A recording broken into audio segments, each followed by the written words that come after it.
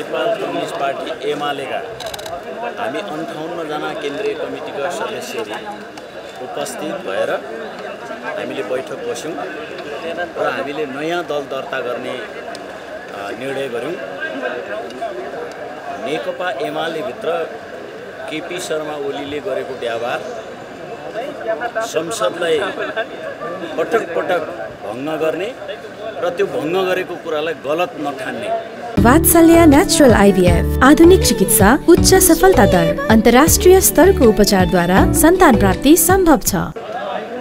संसदको रक्षाको निम्ति संविधानको रक्षाको निम्ति हामीले पार्टी एकताको निम्ति पनि पटक पटक आवाज उठायौँ प्रयत्न गऱ्यौँ। त्यो कतैबाट पनि सम्भव नहुने स्थिति बनिसकेपछि आज हामीले नेपाल कम्युनिस्ट पार्टी एमाले समाजवादी नाम गरेको दल यहाँ दर्ता गरेका छौँ र त्यो दलको तर्फबाट हामी चाँडै नै एउटा राष्ट्रिय सम्मेलन भेला गरेर राष्ट्रव्यापी रूपमा यहाँबाट दल दर्ताको प्रमाणपत्र पाइसकेपछि हामी राष्ट्रव्यापी भेला गरेर यसलाई एउटा नेपालको कम्युनिस्ट आन्दोलनलाई पुनर्गठन गर्ने भाइरस तथा रुगाखोकी नाक बन्द दाँत दुखेको जिउ दुखेको आदि। सबैका लागि एक मात्र अचुक तेल जडीबुटीको शक्ति ओखती र सर्वा र श्रमजीवी जनताको हक हित अधिकार र राष्ट्रिय स्वाधीनताको लड्ने लागि लड्ने एउटा क्रान्तिकारी कम्युनिस्ट पार्टी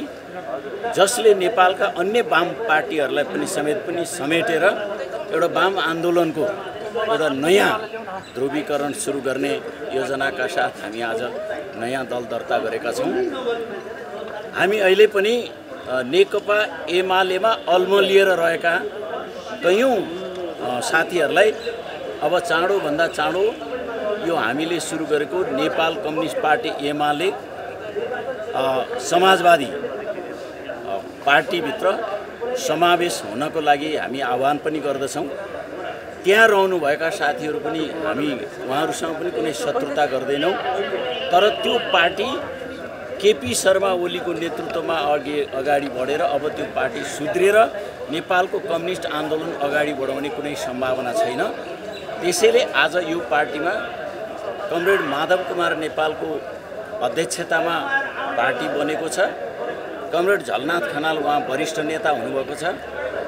बाँकी सबै केन्द्रीय सदस्यहरू छौँ।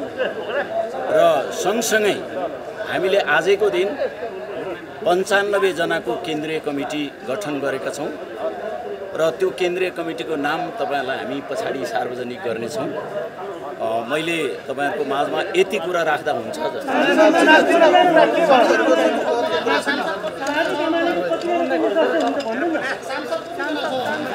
हामीले केन्द्रीय कमिटीको सदस्य त मैले भनिसकेँ नि पन्चानब्बे पन्चानब्बे सांसदहरू अहिले हामीसँग एकतिसजना हुनुहुन्छ। प्रतिनिधि सभा र राष्ट्रिय सभा सङ्घीय संसदका संसदहरू। होइन चुनाव चिन्ह आज हामीले तोकेनौँ। चुनाव चिन्हको बारेमा अलिकति छलफल गरेर निर्णय गर्ने ठाउँमा छौँ। हुनसक्छ योभन्दा अगाडि कलम चिन्ह लिएर अगाडि बढिसके पार्टीसँग पनि हाम्रो एकता पनि हुनसक्छ। त्यहीबाट पनि अगाडि बढ्न सक्छ। अथवा सरसल्लाह गरेर नयाँ चुनाव चिन्ह तोक्ने स्थिति